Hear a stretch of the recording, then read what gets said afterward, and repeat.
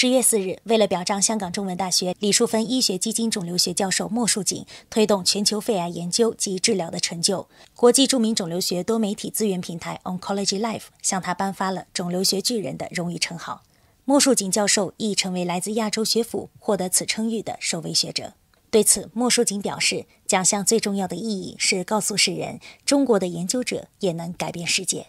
呃，奖项其实只一个应受，就话你所做嘅工作。